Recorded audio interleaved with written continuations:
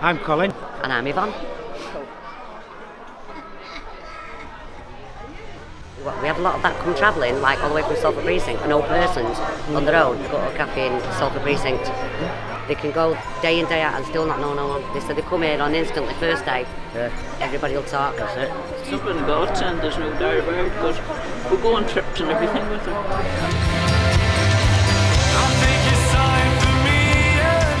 So the first time we ever did it, right, so there's like 50 people on the Yeah. coach and me and him. We went, right ladies, anybody who doesn't know anyone and they want to come with me and Colin. So on the coach, the morning, the dinner, or the afternoon, all got to know each other. That's By the time we got to Southport, me and him stood there and they all ran up. Yeah. The boot opened up, Got the trolleys out and off all they all ran off. It was me and he like, really?